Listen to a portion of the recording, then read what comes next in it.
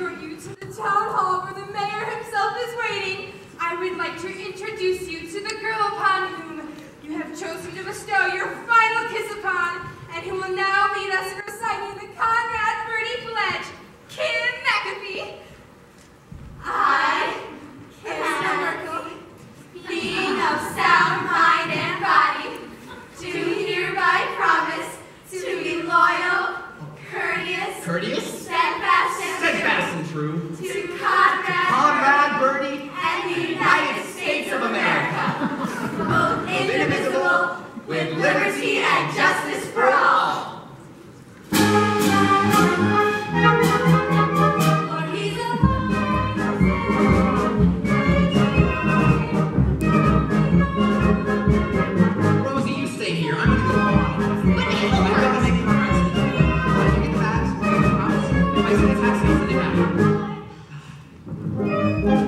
Kim, before you go, could I talk to you for a minute?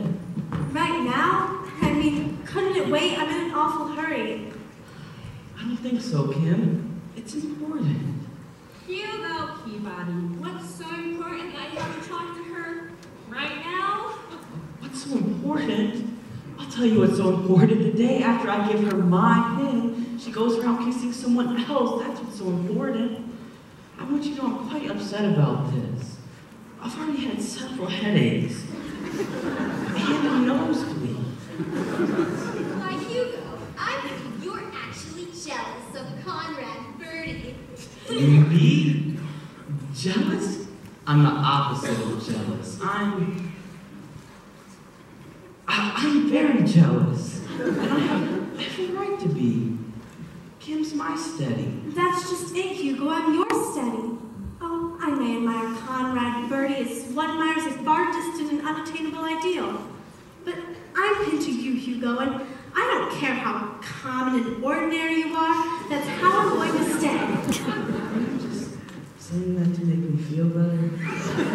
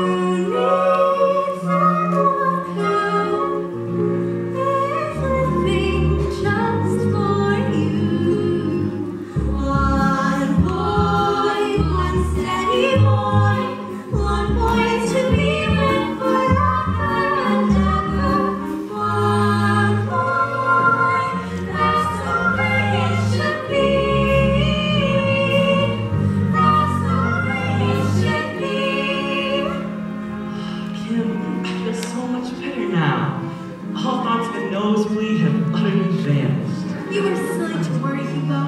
Conrad Birdie may be a great public figure, but he doesn't make me feel all dizzy and faint when I think of him. Only my study does that. Why, even when I say his name, I don't feel a thing. Listen. Conrad Birdie. Conrad Birdie.